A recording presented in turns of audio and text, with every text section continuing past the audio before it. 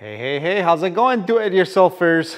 Today we're gonna talk about why, when a fuse on your car blows, you don't wanna just throw another one back in there. All right, now for those of you that are not subscribers to my channel, in my previous video where we did the diagnosis of why the power windows on the right front and right rear of this car don't work, we decided to check for power. Now, the best place is usually the fuse, but since on this car the fuse is behind the glove box, we decided to pick an easier spot, which was at the corresponding switch for these power windows. And then when we pulled out this switch for the right front window, as you can see, we saw these damaged and fried wires, which meant that these wires had shorted out and probably blown our fuse. So today I pulled the panels off to gain access to the fuse for these power windows, and here's what I found. Yeah, here, this is the fuse for the right front and right rear power windows. They have, you know, the right side on one fuse, and then this is the fuse for the left front and left rear power windows. Here's what they did. Since this fuse blew, when that short happened, they wired in this fuse right here. Now, I don't know if you guys can see, but this is a 30 amp fuse. I'm not sure about the factory fuse. Um, you know, it's possible that it's also a 30 amp since two power windows are running off of this fuse. All right, so it looks like the first time that wire shorted out and whoever was trying to fix this problem pulled this panel off, figured out that the fuse is blown since they couldn't get their hands on a factory fuse, decided to wire in this aftermarket fuse down here and go from there. And that's exactly what you don't want to simply do. Whenever you're faced with a blown fuse, you don't want to just simply replace that fuse. Because fuses don't blow on their own. They're there to protect the circuit against shorts that would cause a spike in the current. So, you know, the circuit is designed by the wire size, the connectors, the load to withstand a certain amount of current or amp draw. So, you know, if the, there's a short and that circuit is drawing way more amps than it's designed for, if you don't have a fuse, you're gonna melt the wires, you're gonna damage the load or the component that's inside that circuit, and etc. So that's why, you know, they put a fuse in there, and when it blows, you need to make, check and make sure there's not a short in that circuit. And of course, you can have a short a couple of different ways. First, the component, in this case would be the motor for these power windows, could have an internal short causing the fuse to blow. You could have a short in the wiring. You could have a power wire that has 12 volts to a short to a wire that's grounded. Those two short against one another, that would blow the fuse. Also, on most cars, the chassis on these cars is grounded. Which means the negative side of your battery, by the way of a thick cable, is connected and bolted into the chassis, the metal chassis of your car. And that's so if the manufacturer chooses to, let's say they have a component or a load that requires power and ground in the back of the car somewhere. They can simply just run one wire carrying power and then ground that component onto the chassis. They'll have power and ground there, so that way they don't have to run a, another wire also for the ground as well. And as far as how you check for a short to ground, you do it with this guy, your test light. So what you want to do first is to connect your test light to the power side of your battery. We have a dead battery here, so I'm actually connecting it to these clamps from our jumper box. And then you want to come to where the fuse is. You want to remove the fuse and then you want to check for ground. Now this is getting a little bit tricky, I'll explain later, but you know, you should not have, on our setup, we should not have a ground at either of these pins. Power comes through one, through the fuse, out the other. So we, you know, test one, nothing, the other one, nothing. So we don't have a short here right now, which means this fuse is probably good. We're gonna put this back in. Back on the battery side, just to verify our finding, we'll switch our test light to the negative side of the battery. And if you're wondering, I'm using a chassis ground for the negative side of our jumper box right there. Then back out here on the fuse, we check one side, there's power. There's power on both sides. So power is indeed flowing through this fuse and it's good. Now if you wanna find out which side is bringing in power from the battery, you pull out this fuse and then you check the pins so yeah, this side is bringing in power. Without the fuse, we should not have power on the other side. And since, you know, there, we don't. So this side is coming from the battery. This is going to the component or the load. Now you might be asking, hey, what gives? How's that fuse not blown and you have a short? Well, the problem is, like I said earlier, they kept you know, replacing this fuse every time it blew. Now this was probably, I'm assuming, an intermittent problem where you know, the wires were just barely touching. Once they would touch, the, the fuse would blow. So they pulled these off, throw in another fuse, they'd be good for another few days or weeks or hours. And the problem is every time you replace the fuse and those strands of wire, because you know when they short, they don't you don't get a complete short. You know, you don't get a full contact between the two wires or the wire and the chassis. You know, a couple of strands are hitting one another. When they short, sometimes if you keep replacing this fuse, you're losing you're overheating and losing a couple of strands of wire. So you lose a couple of strands, you threw another fuse, a couple of days down the line, they hit each other again, you lose a couple of more strands, throw another fuse. You keep doing this, eventually, you're eventually gonna be faced. What we have here is, which is basically, you know, none of the strands are connected to one another anymore. They have completely burnt off. Now, granted, when I pull this out, some of them were still connected to one another. Just, I mean, I'm talking just barely a few strands, and you can obviously see the evidence of overheating on these wires and whatnot. So yeah, you know, if you keep popping that fuse in and go from there, you'll be faced with this. All right, so allow me to try to make sense of this on this wiring diagram. So here's our fuse. Here's where the wire we checked that had power that's coming from our power window relay to be specific, which itself gets its power from the, the battery. Then we checked for ground here. We found out that in our case, for the reasons I explained, we don't have ground right now, short to ground right now, but we probably did the first time the fuse blew if we were to check it then. Now, the idea is if you don't check, if you check here, you don't see a short to ground, that could mean that the short could be in other parts of the circuit. So you basically want to split up the circuit and then check for ground at each split. So, you know, you would go to the switch, check for ground there, you know, you could check this wire.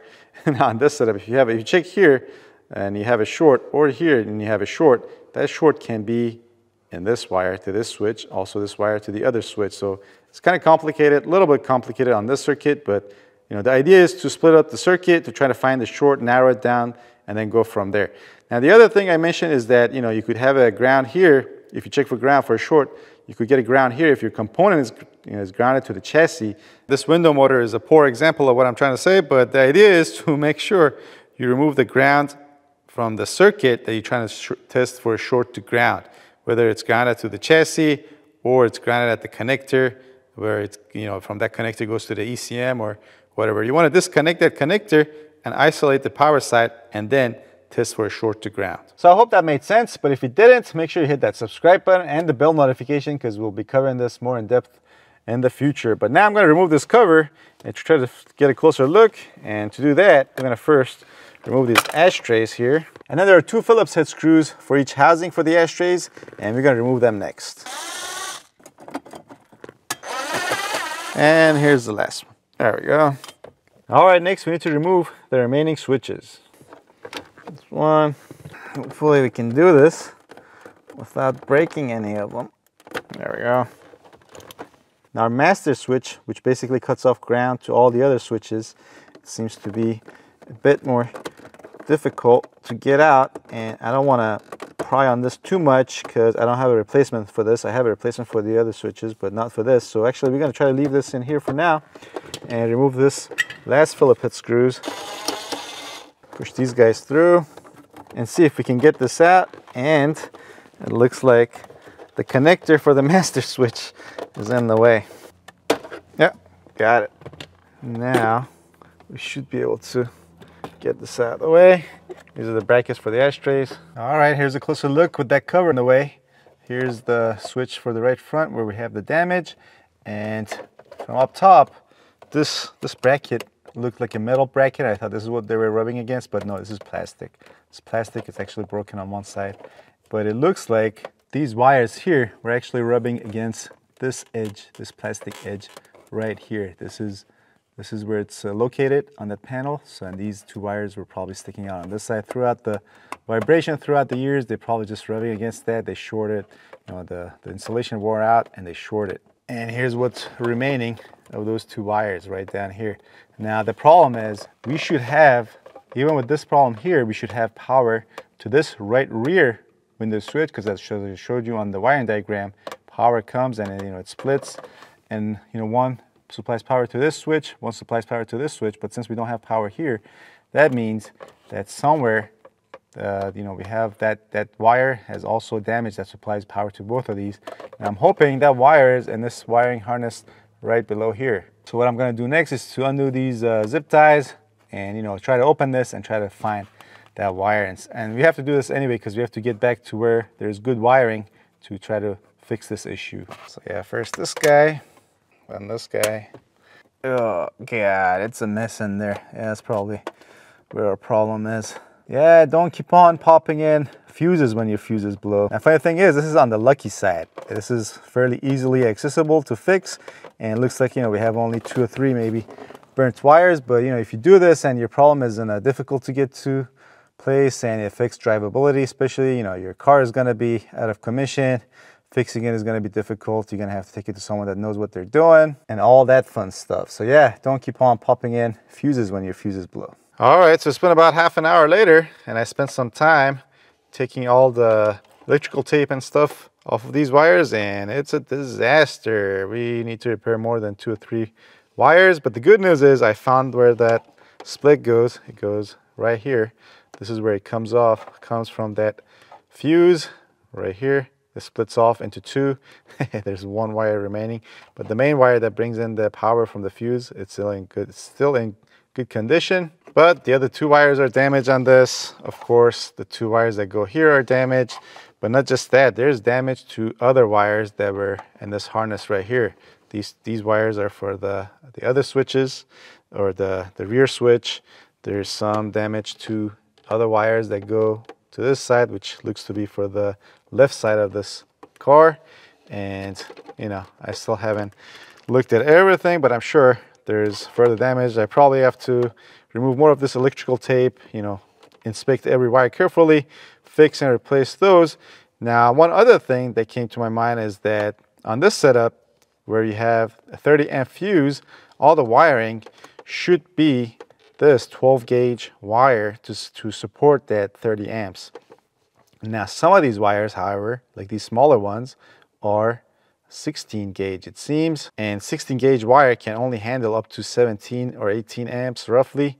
Whereas you know the 12 gauge can handle up to 25 or 26 amps actually actually if I'm not mistaken. But anyway this is a poor design on Jaguar's part. Now granted on each circuit where they're using the 16 gauge wire now that circuit is for one window so that's likely to only uh, you know use up the up to 17 amps but since the entire circuit is only protected by a 30 amp or 25 or 30 amp fuse, uh, you know, they should have, you know, they should have figured, hey, if there's a short, if you're protecting against a short and the entire circuit is on a 25 or 30 amp fuse, all the wiring should be able to handle that now.